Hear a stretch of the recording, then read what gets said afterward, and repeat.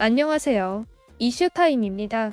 최근 박수홍이 가족의 배신이라는 끔찍한 아픔을 함께 극복할 배우자와 결혼식을 올렸습니다. 두 사람은 행복한 모습을 공개했고 신혼 부부의 모습도 이내 방송을 탔는데요. 박수홍의 아내 김다혜에게 루머를 뒤집어 씌운 혐의를 받았던 김용호의 재판 장면이 방송에서 방영은 됐으나 민감한 사안이라며 VOD에서 삭제되었습니다.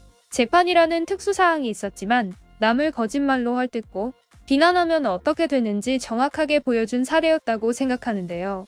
김용호는 재판 과정에서 여전히 혐의를 부인하고 있는 상태로 아직 최종 판결까지는 또 많은 시간이 걸릴 것 같아 주위에 안타까움을 사고 있습니다. 모든 것의 시작이었던 박수홍의 가족은 지금 어떻게 살고 있을까요?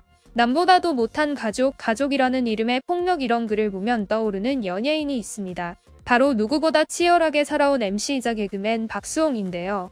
박수홍은 1970년생으로 1991년 제1회 KBS 대학 개그제 077기로 데뷔했고 감자골 사인방으로 활약하며 큰 키와 준수한 외모로 인기를 얻었죠.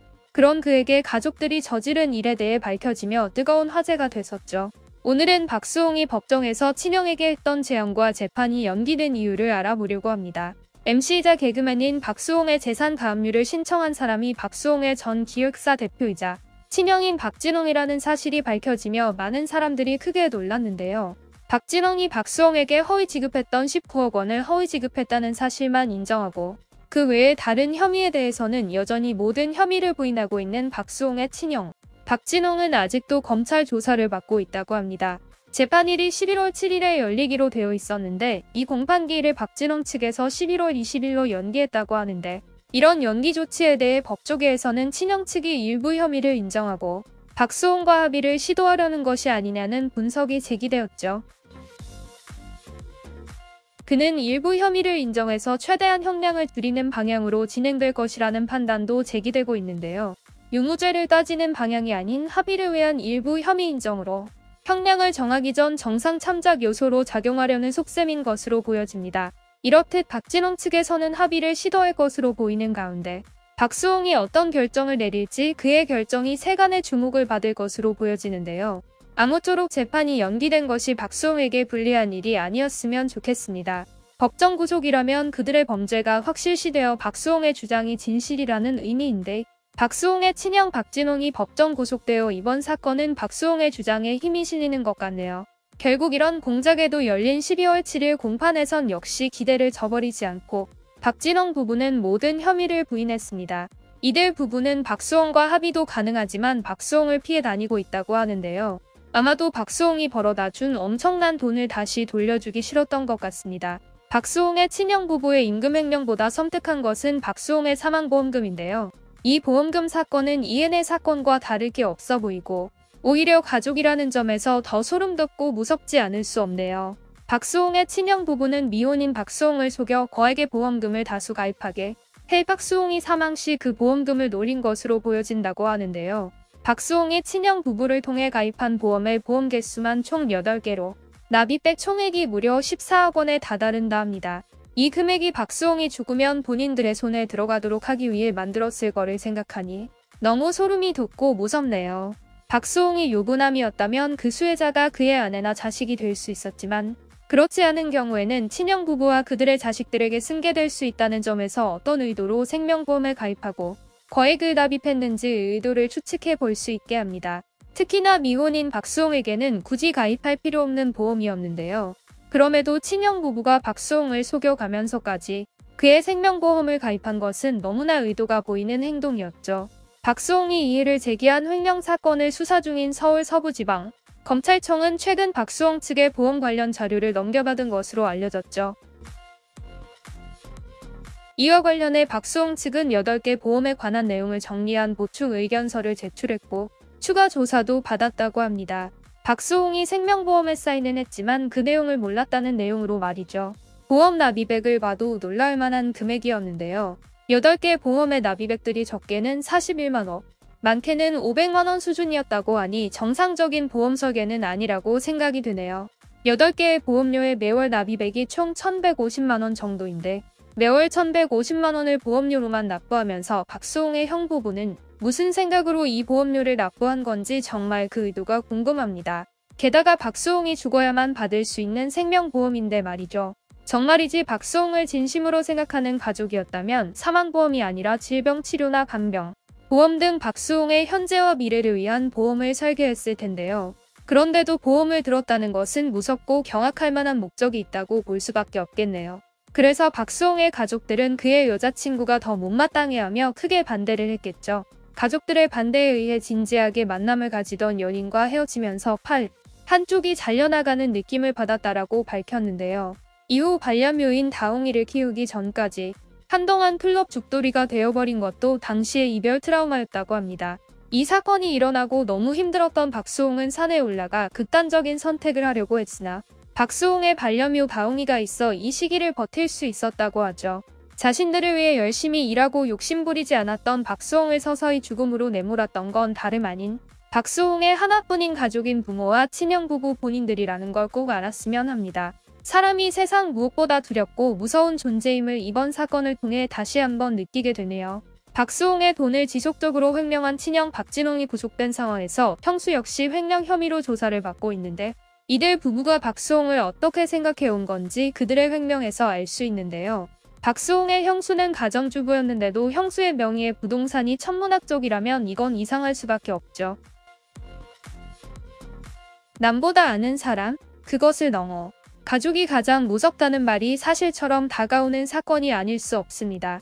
연예인 다수가 가족을 부양하며 사는 사람들입니다. 한 명의 연예인이 가족 모두를 부양하는 경우는 흔하게 볼 수 있는 상황이죠.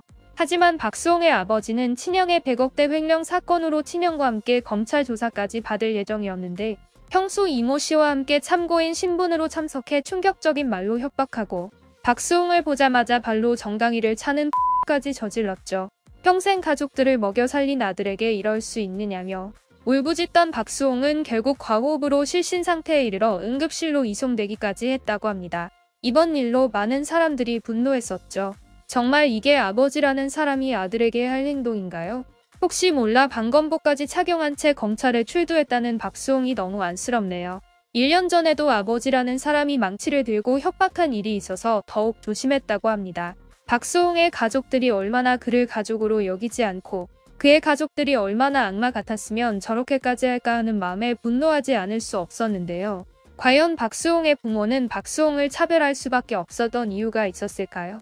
첫째는 장남이라 셋째는 막내라 좋고 귀여웠을지 모르겠습니다. 그런데 부모님에게 둘째, 박수홍은 정말로 미혼 새끼였나 봅니다. 박수홍이 어린 시절 엄마의 심부름으로 두부를 사오는데 오래 걸렸다며 어린 박수홍이 사온 두부를 새파랗게 어린 그의 얼굴에 집어 던졌던 박수홍의 어머니.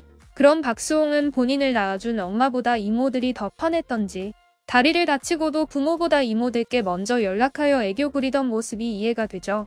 하지만 그런 박수홍의 모습을 보며 오히려 불효자식이라며 혀를 차던 박수홍 어머니의 모습이 방송에 나왔었는데요.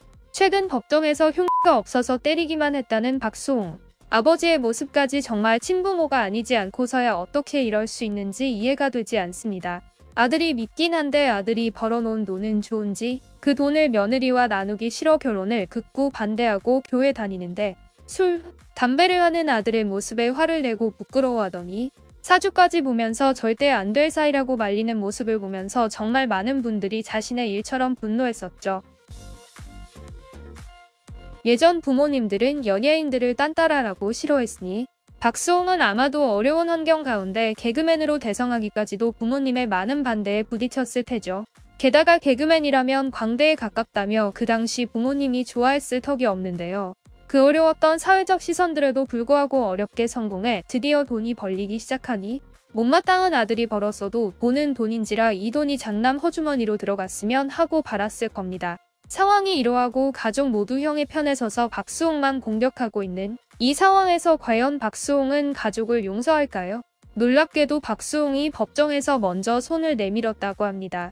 박수홍은 형에게 다 용서할 테니 공증을 통해 재산을 합치고 7대3으로 나누자는 제안을 했는데요.